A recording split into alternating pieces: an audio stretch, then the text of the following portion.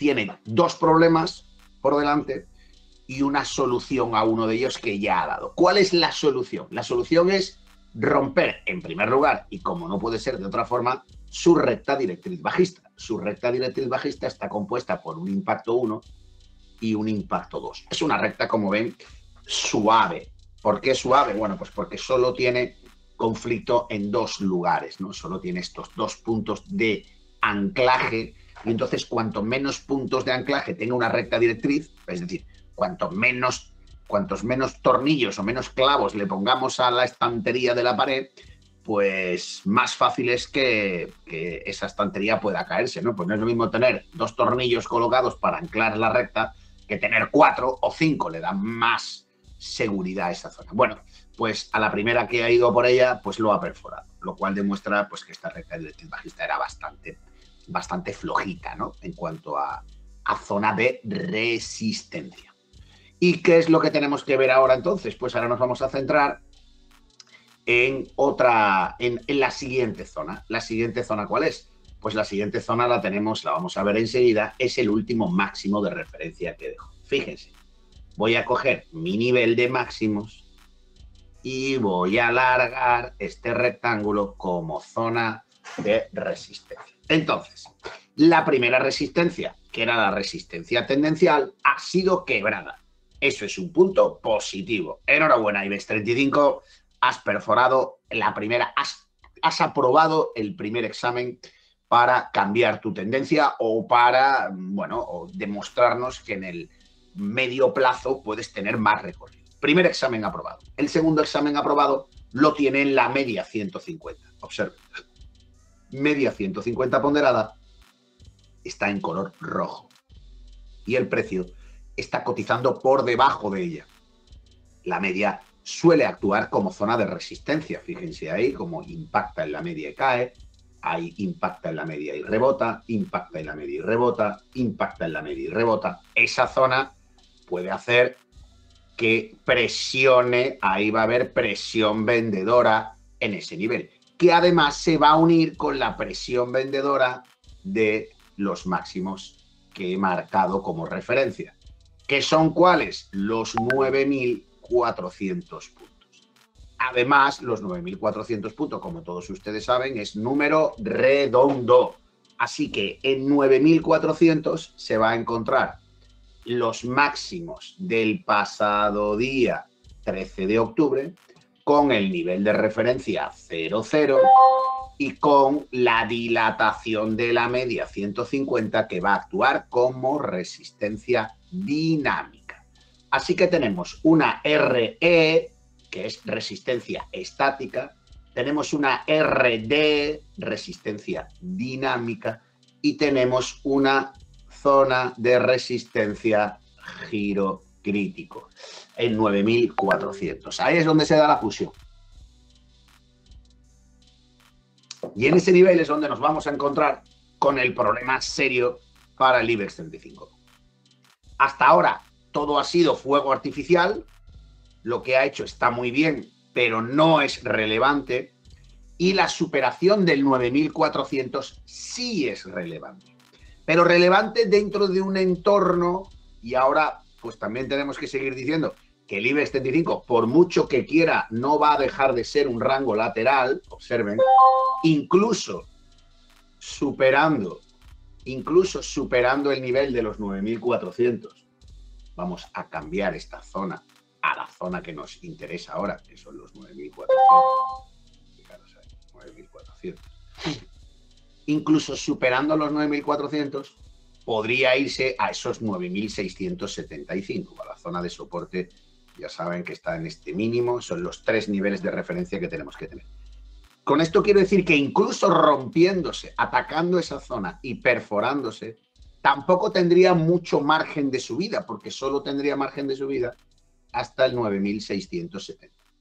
Y esa situación no cambiaría la perspectiva de rango lateral del IBEX, porque esto, nos pongamos como nos pongamos, es un lateral como un caballo y si esto ocurre, pues seguiría siendo un activo en rango lateral, con mejor pinta, es decir, mejor vestido, pero seguiría siendo el mismo tipo de activo. No podríamos decir que es alcista. Al igual que no podemos decir que ha sido bajista por esto, porque estaba dentro del rango lateral.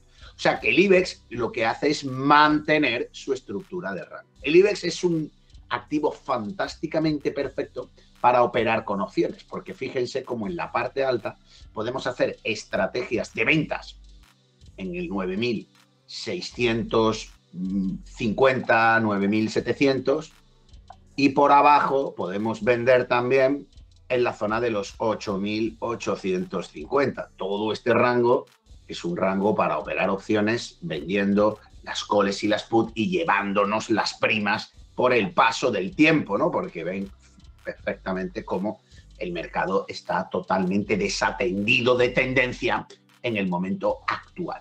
Así que, terminando con nuestro resumen, 9.400 es el punto de inflexión para que el IBEX 35 cambie a un sesgo positivo que no alcista y pueda dirigirse hacia los 9.675 y para aquellos que digan, bueno, José, pero el 35 era un poquito más, bueno, pues venga, sí, un poquito más, 9.700, que es el máximo, y así redondeamos. ¿Vale? Para que pase del 9.400, voy a intentar clavarlo ahí. De 9.400 a 9.700 es necesario la ruptura del 9.400, la consolidación, por supuesto, y a partir de ahí ya tendrá el recorrido hasta los 9.700. Pues sí, señores, señoras y señores, amigos que nos veis en este momento, esta es eh, la situación para el IBEX 35, nuestro índice nacional. ¿Sigue habiendo acciones potentes dentro de un mercado lateral? Pues claro que sí, claro que hay acciones potentes. Para ver acciones potentes tenemos que ver un cambio en el liderazgo y es que BBVA acaba de tornar a ser la acción número uno del mercado. Nos centramos en el gráfico y vamos a ver quién es el líder absoluto del mercado nacional. ¿Y quién es? ¿Quién es? Pues sí, señores, es BBVA. Es ahora mismo un activo tremendamente alcista. Voy a irme a un gráfico semanal para tener una perspectiva mayor. Y fijaros, es una, un activo maravillosamente alcista que está ahora mismo, en este momento, rompiendo la zona de máximos anteriores, lo cual nos indica una potencia espectacular y todo ello dentro de un entorno muy, muy, muy favorable del precio. Fijaros, una progresión bursátil del 38%, una progresión bursátil positiva para BBVA. Magnífico, recorrido tiene, sí tiene recorrido, un 15% según nuestra proyección de análisis. Para el activo para BBVA es un activo que está claramente en tendencia alcista está lanzado y en pleno impulso. Y el stop loss, si estamos dentro, hay que ajustarlo a 705. Como ven, BBVA es una verdadera bestia, indomable en su movimiento, donde su tendencia queda claramente definida, con una tendencia exquisitamente alcista, ahí lo ven, impolutamente alcista, donde, donde el recorrido de máximos crecientes pues es ya una certeza absoluta y está rompiendo el último máximo al alza. Maravilloso la acción de BBVA que está perforando en el día de hoy los máximos anteriores. Muy atentos porque estas perforaciones deben ser corroboradas por los gráficos semanales.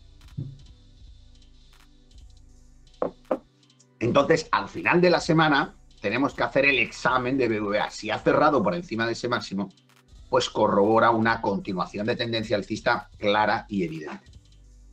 Fíjense en los indicadores, fíjense la maravilla de los indicadores de largo plazo para tener BBVA, en una cartera. Ahora estamos hablando ya de BBVA, podemos poner arriba, podemos poner el titular, previsión de, de BBVA si queremos, o acciones. Voy a ver varias acciones del mercado español. Y fijaros, ¿no? Cuando hablamos de qué necesitamos en una acción para tenerla en cartera, en el largo plazo, hay tres factores que son fundamentales, como son el sentimiento de mercado, la tendencia y los flujos de capital o fuerzas relativas, o manos fuertes. Uno nos habla de la percepción que tienen los inversores sobre la compañía, el primero. El segundo es simplemente un estudio chartista de cómo se de máximos y mínimos. Y el tercero nos habla de las manos fuertes, cómo están, si están dentro o no, si se está invirtiendo en ella y de manera sólida. Entonces tenemos tres aspectos muy importantes. Fijaros cómo BBVA hace 1, 2, 3, 4, 5, 6, 7, 8, 9, 10, 11. Este es el 12. El doceavo mes que cuenta con el sentimiento positivo de los inversores. Los inversores creen que BBVA es una buena compañía. Esos mismos 12 meses lleva con tendencia alcista. Es decir, cuando cambió la tendencia, el sentimiento rápidamente se volvió positivo y todo el mundo empezó a confiar en la compañía. Y además empezaron a confiar, ¿por qué? Porque previamente, dos meses, tres meses antes, el dinero empezó a entrar, fijaros, aquí empezó a entrar el dinero de una forma clara y evidente. Primero entró el dinero, luego cambió la tendencia y finalmente cambió el sentimiento. En este tramo de cinco meses es cuando se produjo, digamos, el punto de inflexión positivo para BBVA y a partir de ahí pues ya claramente eh, todos los inversores se vieron eh, eh, abducidos o se vieron iluminados por la calidad de la acción y a partir de ahí ya no ha vuelto a perder nunca más el flujo de, de positividad para la compañía. Fijaros hasta qué punto que desde el punto de, digamos, de inflexión en el que se gira al alza, después de eso, con todos los indicadores ya en positivo para una cartera modelo de medio y largo plazo, la compañía continuó subiendo prácticamente un 62% adicional sobre ese valor. Así que como ven, una compañía estratosféricamente interesante. Y luego la otra compañía que quiero destacar en el día de hoy es ACS. ACS, la constructora española de Florentino, bueno, pues ha, ha llegado por dos veces consecutivas a su máximo anterior. Es la tercera compañía con los flujos de capital más favorecidos, es decir, la que cuenta con más apoyo em, institucional en cuanto a dinero que está entrando en la compañía. Y em, quiero destacar la situación actual. ¿Por qué? Bueno, pues porque esta, este punto de doble máximo, es verdad que ya lo hemos visto en otras ocasiones, hemos visto esas zonas de techo, no es la primera vez que hace este tipo de formaciones, así que le podemos dar pues el beneplácito de la duda, ¿verdad amigos? Pero em, bueno, la, formación que está haciendo es una formación relativamente complicada para la continuación de la tendencia. Fijaros como este máximo y este máximo nos dejan la figura de doble techo perfecta. Es cierto que para que esta figura se complete necesitamos la ruptura del neckline que lo tenemos abajo, ¿verdad? Entonces ese neckline no se ha producido esa ruptura y además es una zona muy, muy, muy relevante. ¿Por qué? Pues fíjense, Resistencia 1. Resistencia 2. Ruptura y pullback, soporte 1. Subida y apoyo, soporte 2. Subida y apoyo, soporte 3. Es decir, recuerden, esta tabla horizontal en este caso, o esta, esta estantería, tiene cinco tornillos. Está atornillada por cinco, cinco posiciones que aseguran la resistencia de esa tabla. Es decir, es muy difícil que la tabla se rompa y caiga. Tiene cinco puntos. Entonces, si llegara aquí, podríamos seguir teniendo esperanzas. Así que nos deja muy bien claro que el soporte lo tenemos en la zona de 31,90 aproximadamente. Nos deja esa situación como muy clara y la resistencia, pues en el máximo, que son pues 34,20, una cosa así. Y entonces ahí lo tenemos ahora mismo dentro de ese entorno. Si el precio busca el máximo y lo perfora, pues sería magnífico porque tendría una continuación de la tendencia alcista muy clara y muy evidente. Como digo, es un activo que ya ha pasado por esos trámites laterales, como en este caso, donde se mantuvo bastante tiempo lateral, o este caso, donde ha estado en lateral, o aquí, pero forma parte de su estructura natural. Gana zonas, consolida rangos de manera horizontal y luego termina explotando al alza. Fíjense como si nos vamos a la gráfica de las carteras modelos, desde cuándo, dónde y cómo tendríamos que tener ACS. Pues fijaros, en el, el, caso de BBA fueron 12 meses, pero miren el caso de ACS. Sentimiento positivo 1, 2, 3, 4, 5, 6, 7, 8, 9, 10, 11, 12, 13, 14, 15, 16, 17, 18, 19, 20, 21, 22 meses en sentimiento positivo. Es verdad en este caso primero entra el sentimiento y luego entra el dinero. Así que en este caso los inversores primero han confiado en la compañía y luego los institucionales han ido detrás. Fijaros que en el caso de los institucionales no son 22, sino son 21 meses. Y la tendencia pues ha ido flaqueando en determinados momentos. Si se fijan, esos procesos correctivos que hemos visto de rango pues no le terminan de convencer excesivamente. O sea que cuando hemos encontrado realmente el equilibrio ha sido aproximadamente a partir del 17, hace 17 meses, donde se consigue el equilibrio total de la compañía en lo que a todos los indicadores se refiere. Así que pedazo de compañía también, espectacular el movimiento, eh, y, con todos estos indicadores impositivos, si la tenemos en cartera, tenemos que seguir confiando en ella, porque esto es algo parecido a lo que ya hemos visto en circunstancias anteriores, pero no debe dejar de asustarnos, no debe, no debe asustarnos más de la cuenta, mientras que no se pierda el nivel de soporte. Pues estas son las dos compañías más espectaculares, las dos mejores compañías, en este caso nacionales, dentro del ranking, donde también empieza a aparecer, el, en este caso, Santander, ¿no? Banco Santander. Y Banco Santander tiene una prueba de fuego. Al igual que la tenía BBVA, pues tenemos la prueba de fuego de Santander. Y Santander todavía no ha conseguido superar su prueba de fuego. Fijaros.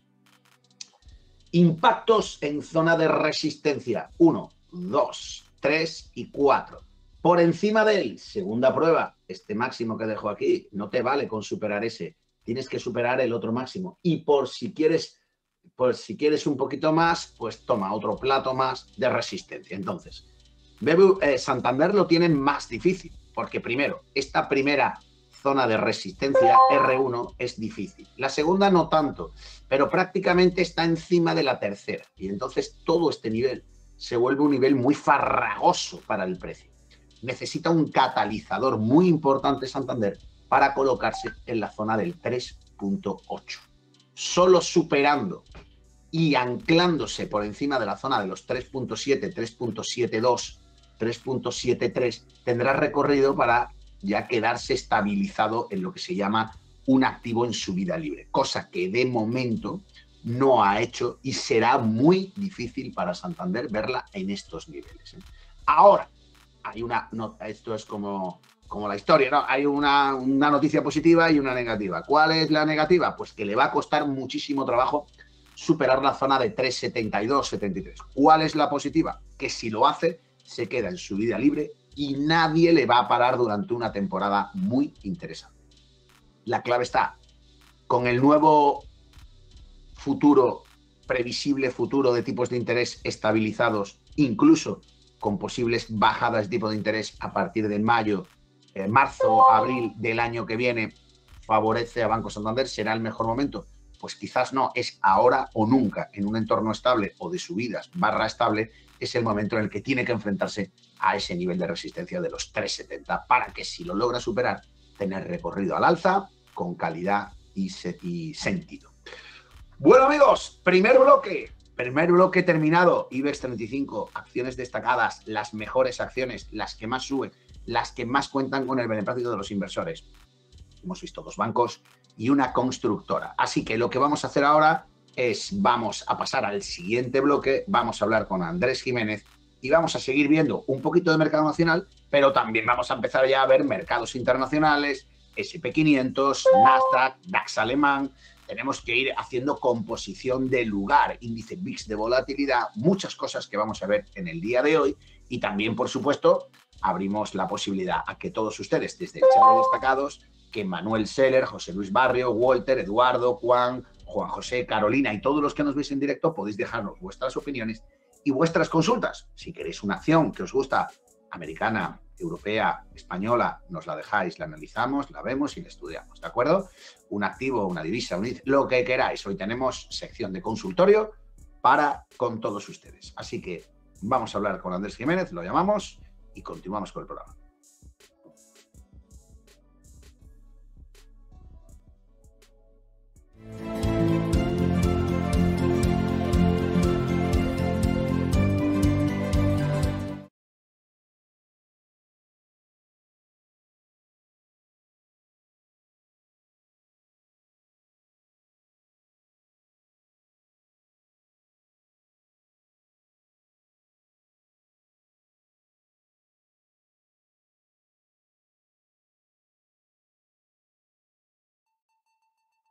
amigos, continuamos, continuamos, claro que sí, seguimos y continuamos. Y ya tenemos con nosotros a Andrés Jiménez, analista jefe de Bolsa.net y lo tenemos ya aquí en directo. Andrés Jiménez, good morning, buenos días, ¿cómo va la cosa?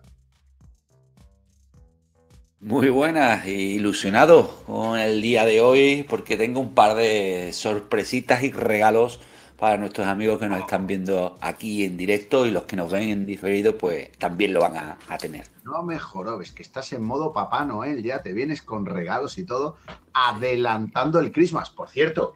Buen patrón estacional también el de, el de el patrón estacional nos quedan dos buenos eh, todavía y el mercado está tirando con energía y nos queda el Giving Days el Giving ya no me acuerdo el Thanksgiving Day el día de acción de gracias de los Yankees que ese es un buen patrón estacional. Y luego otro empujoncito en el, en el patrón que va del 20 al 26. También hay otro patróncito bueno. O sea que todavía nos quedan algunos regalos de Papá Noel. Pero bueno, entiendo que también estarás ilusionado por el pedazo de evento que tuvimos ayer, esa super masterclass donde tela marinera, tela marinera, lo que soltamos por esa boquita que nos vieron pues un montonazo de personas, tela marinera, la nube de proyección estadística, qué maravilla cómo clavaba las operaciones ayer una tras otra, cómo nos marcaba los parámetros. Fue un absoluto espectáculo. Yo salí enamorado, Andrés. No, no, la, sesión de la tarde pues estuvo muy, divertida, muy, entretenida y sobre todo muy, muy útil eh, para el día a día de, cada uno de, los inversores, ¿no? Sobre todo aquellos que, que trabajan el trading intradiario. Bueno, pues la verdad que la sesión de ayer fue estupenda y, descubrimos una, nueva herramienta que, que abre, digamos, un, amplio abanico de, posibilidades para, para, hacer brillar nuestros resultados. fue ah, algo muy absoluto yo muy recomendable para todos los que se apuntaron y no pudieron acudir por razones X, que se pongan en contacto con nosotros personalmente para solicitarnos si de verdad tienen interés, porque el vídeo fue un absoluto espectáculo el de ayer, no lo vamos a enviar, pero si alguien en concreto se pone en contacto con nosotros y mira que no pude porque tal o por cual o por cual, pues que se pongan en contacto los que de verdad no pudieron y les interesa el trading intradiario porque fue absolutamente recomendable. Bolsas españolas y recomendaciones de las casas de análisis, de los brokers. ¿Qué dicen de la bolsa española y cuál es la acción que cuenta con el beneplácito y el consentimiento de los analistas en ámbito general? Bueno, pues mira, José, vamos a ver a, continuación las últimas recomendaciones de, las casas de análisis internacionales sobre las acciones españolas. ¿no? Y, además también vamos a hablar de, cuál puede ser nuestra visión para una cartera de, discrecional, una cartera de acciones, que tenemos que hacer con esa cartera. Pero antes de meternos en, ese tema, José, tengo aquí un, par de regalos para los amigos y, como no te lo cuente ahora, se, después se me olvida y se van a quedar fuera. Durante el último año, amigos, he estado eh, apuntando eh, cada uno de mis hábitos que, yo tengo a lo largo del día para hacer un seguimiento de esos hábitos y descubrir cuáles de ellos, bueno, pues realmente que estaban ayudando a, ser mejor inversor, a mejorar mis inversiones, a mejorar mi, forma de hacer trading.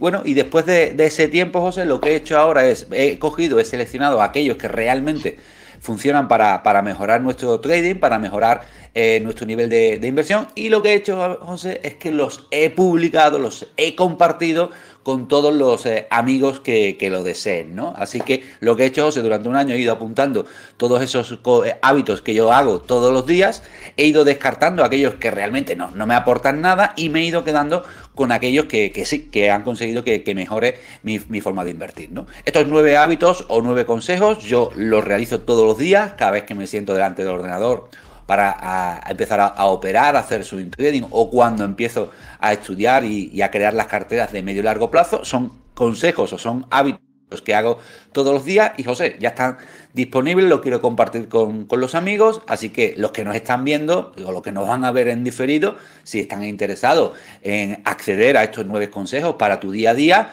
y mejorar así tu forma de, invertir, bueno, pues eh, que se pongan en contacto conmigo, José, que me manden un WhatsApp al más 34 655 95 6488 y yo estaré encantado de que lo disfruten, de que lo pueden imprimir, lo pueden pegar en la pared para que no se le olvide, leerlo todos los días en definitiva, son nueve consejos que si los cumplen todos los días, al final van a estar mucho más cerca de, la consistencia y la idea es que, oye, si a mí me ha funcionado estos nueve consejos, porque yo los sigo haciendo a día de hoy, si tú lo haces, seguramente también vaya a mejorar. Así que un regalito, José, que, he estado preparando durante los últimos meses y que ya tengo nueve consejos eh, para tu día a día o lo que es lo mismo, cómo puedo mejorar mi trading o mis inversiones. ¿Qué te parece? Me gusta, me gusta. Me gusta la idea, me parece muy interesante y yo me voy a apuntar rápido para ver esos nueve consejos. Igual que va a hacer Juan José, Antonio, Pepe, Robert y Alejandro. Se van a apuntar ya para ver esos nueve consejos para trabajar en el día a día y mejorar tu trading. Pero bueno, también hay otra forma de mejorar el trading, es viendo lo que dicen los grandes casas de análisis y luego escuchando lo que decimos nosotros, porque hay veces que dicen cada mamarrachada que no veas. Así que venga, vamos al lío. Ahora sí, vámonos, me guardo el siguiente regalito que lo vamos a ver un poquito más adelante, pero fijaros, dentro de la, de la página web nosotros tenemos diferentes eh, secciones, una de ellas, la más visitada, es la, sección de, análisis, y dentro de análisis, bueno, vamos a encontrar pues diferentes, eh, bueno, subsecciones, digamos, de, alguna manera. Y una de ellas es la de acciones de bolsa. Oye, si a mí me interesan las acciones, pues nosotros hemos creado un lugar exclusivo de acciones. Así que nos vamos a ir porque ahí es donde nosotros subimos cada semana una actualización sobre las recomendaciones de, los brokers, ¿no? Bueno, si bajamos un poquito, nos encontramos rápidamente pues con eso, con la tabla de recomendaciones de las casas de análisis. ¿Estos qué son? Bueno, pues las casas de análisis cada semana van publicando pues su visión de mercado o incluso hacen recomendaciones de qué es lo que se debería hacer con algún tipo de acción. Yo selecciono las, las españolas y aquí tenemos la, tablita de, esta semana. Bueno, pues si te fijas, José, mira, creo que antes has comentado, creo que es una de las compañías que más está subiendo en el día de, hoy, que es eh, Y fíjate que tenemos aquí a Robbie, que Jeffries pues recomienda comprar con un precio objetivo de 60, ¿no? Bueno, interesante, hoy es una de las que más sube, atención a la salud, es verdad que Robbie ya llevaba yo tiempo haciéndole un seguimiento, eh, porque es una de las pocas acciones españolas que, tiene una tendencia alcista, y ahora si te parece le podemos echar un vistazo. También me llama la atención, fijaros como ya las casas de análisis más internacionales o digamos más populares ya empiezan a convertirse un poquito eh, en conservadoras. En el caso de Morgan Stanley, fíjate, Aquí nos habla de, Repsol y ya se vuelve neutral, ¿no? Creo que hace un par de semanas, digamos que, las recomendaciones de las casas de análisis era sobreponderar o comprar, que vamos, a, que vamos a confiar en la compañía. Sin embargo, ahora se vuelve neutral, posiblemente por la caída que estamos viendo del petróleo, está lastrando también a, la acción de, Repsol a la baja, pero quieres, me, parece interesante que veamos eh, la situación de, Repsol, porque es verdad que ahora para mí hay que estar neutral, pero está en una situación clave y que digamos que, ahora o nunca debería de responder Repsol y todo lo que rodea un poco a ese sector eh, petrolífero eh, directamente relacionado evidentemente con el petróleo. ¿no? Y tenemos también el caso internacional de, Bank of America,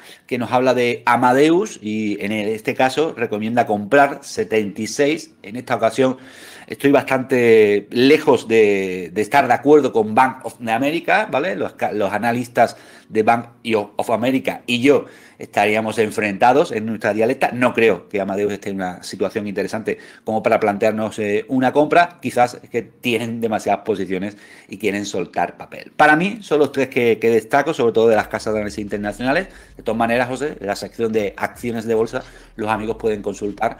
Pues eh, los jueves hacemos una actualización, recogemos todo lo que han dicho durante la semana las casas de análisis más importantes de las acciones españolas y las publicamos para que los amigos lo, lo puedan visitar y aquí pues lo repasamos junto, junto a ellos.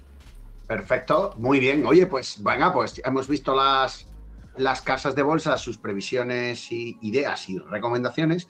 Y ahora vamos a ver cuál es la que nosotros hemos decidido, ¿no, Andrés? ¿Cuál es la que nos ha gustado más o la que creemos que puede ser más conveniente?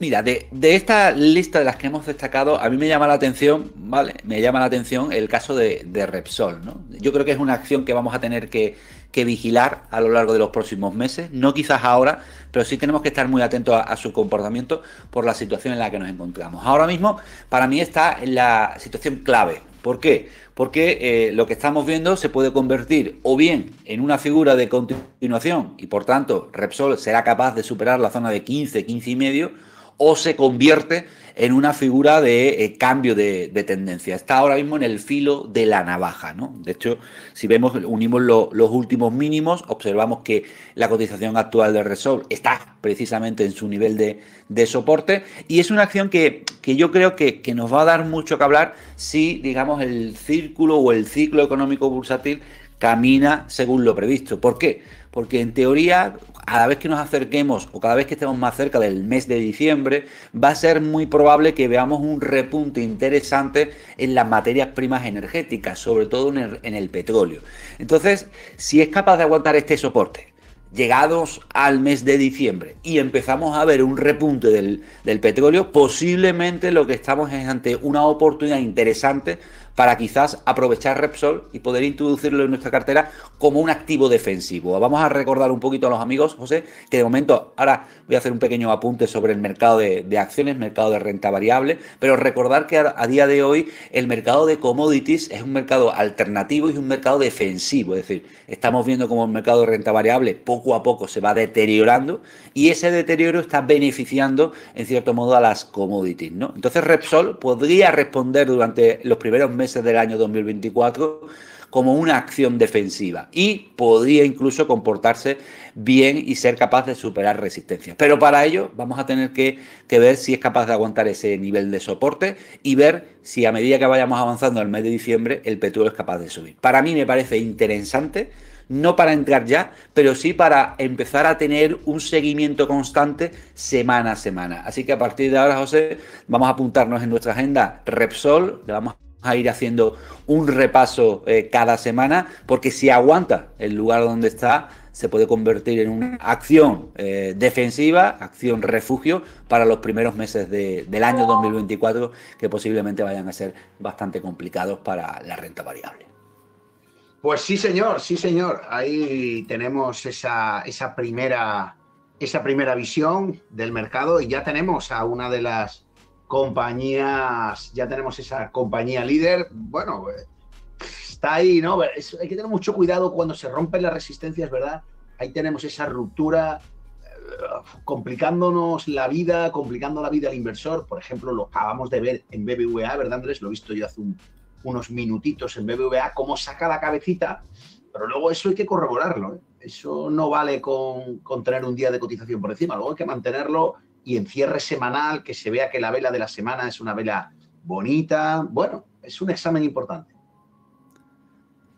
Bueno, al final eh, la estructura que, que, estaba llevando o que está llevando todo esto tiene una formación triangular, ¿no? Y los triángulos normalmente tienen cinco movimientos en su interior, ¿no?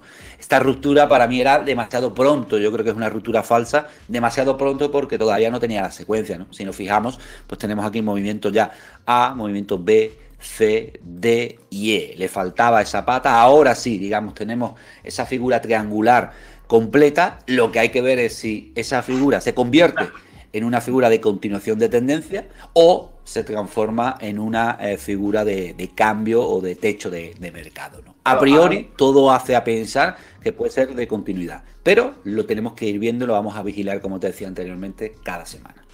Claro, ahora lo que tendríamos que hacer ¿verdad? es unir los puntos B, y D, que has marcado muy bien en ese conteo, y ya pues se nos convierte eso en una cuña alcista. Una cuña alcista de implicación bajista y ahora tiene que decidir qué quiere hacer. Si esa figura es de techo, como suele ocurrir, que son figuras cuñas alcistas de implicación bajista, pues ahí cuidadín, porque si rompe la línea, en este caso, la línea de soporte que hemos marcado abajo, la zona AB, AD, perdón, AC, esa línea pues ahí ya la cosa se va a poner bastante más fea. Pero bueno, de momento sigue manteniendo la estructura de cuña alcista de implicación bajista. Muy bien, ¿alguna cosa más, alguna más que te haya gustado? ¿Te parece que le echemos un vistazo al sector de la atención a la salud, que hemos dicho que lo íbamos a ver, porque hay varias acciones, caso de Grifols, Farmamar, Laboratorios Robi. Tenemos ahí varias, varias compañías nacionales, creo que había hasta cuatro, ¿no? ah, Almiral, sí. Almiral, Laboratorio Robi, Farmamar y Grifols. Ahí dando. Nos vamos, si te parece, a la atención a la salud europea, lo podemos ver en la europea y luego, si quieres, en la global, ¿no? que también se ve muy bien. Pero vamos, la europea. Bueno, yo creo que son, muy. son muy parecidas, eh, o al menos está en la misma situación, ¿no? La verdad es que eh, me sorprende que, aparezca esa acción como Robi, que aparezcan algunas eh, empresas españolas eh, de atención a la salud porque su industria pues no lo está haciendo bien o al menos tiene, va a tener o podría tener un, serio problema. Fíjate que a priori si hacemos un estudio rápido de atención a la salud, bueno, pues lo que vemos es que está en la etapa de, declive de una manera rápida, lo podemos ver ahí en esa, en esa guía técnica que, muchos amigos ya, ya tienen. Tiene una progresión bursátil negativa, y eso, bueno, pues si le unimos la, categoría de dos estrellas, nos dice que con lo que, lo que tenemos que hacer con atención a la salud es mantener barra reducir. Para mí, eh, ahora mismo el máximo peligro está aquí, es decir, lo que vamos a ir viendo es como poco a poco ese rebote actual se va a, va a intentar acercarse a esa directriz que ya perdió, es decir, una vez que pierde esta directriz, ya prácticamente la, la estructura es bajista.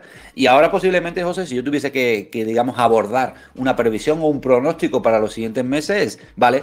De aquí a diciembre podemos ir viendo eh, una recuperación, una especie de, de rebote en esta industria. No creo que sea capaz de recuperar esa directriz y esto se va a convertir en un nivel de resistencia. ¿Para qué? Bueno, pues para empujar de nuevo al mercado los primeros meses del año porque parece que se está formando una tormenta perfecta, ¿no? Estamos viendo ya como el mercado o digamos la economía americana, es verdad que a nivel del PIB se sigue aguantando, pero ya empezamos a ver ciertos brotes preocupantes en, en la tasa de paro.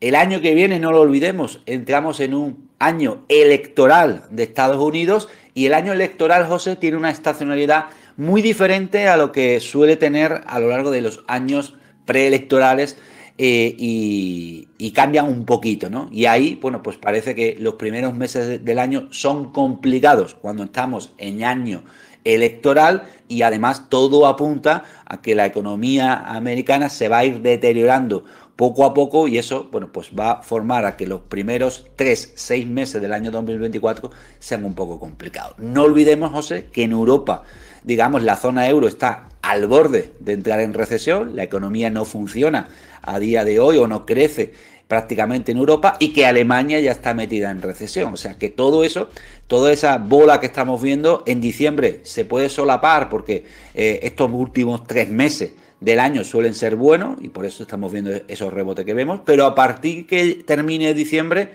ya la fuerza estacional desaparece y el mercado no va a tener nada a lo que agarrarse. Mucho cuidado con estos rebotes que sí, podemos utilizarlo para mantener algunas posiciones. Nosotros, por ejemplo, mantenemos acciones como Microsoft en, nuestra cartera, mantenemos un, 30-40% de, de valores dentro de, la cartera, pero ojo, que a medida que vayamos acercándonos a diciembre, sea momento de, ser un poquito más contundente a la hora de reducir nuestra exposición. Sí, señor, eh, pero eso como siempre lo dictaminará el mercado, las curvas de precios, si el mercado es el único que tiene la razón porque, bueno, al final todo lo que nosotros podamos meter en la coctelera para sacar el resultado final, pues es importante. Al final, el mercado es el que decide y nos va a decir en qué situación está. Y ahora mismo, pues ya sabemos que Europa está en una situación negativa, claramente, es un mercado bajista.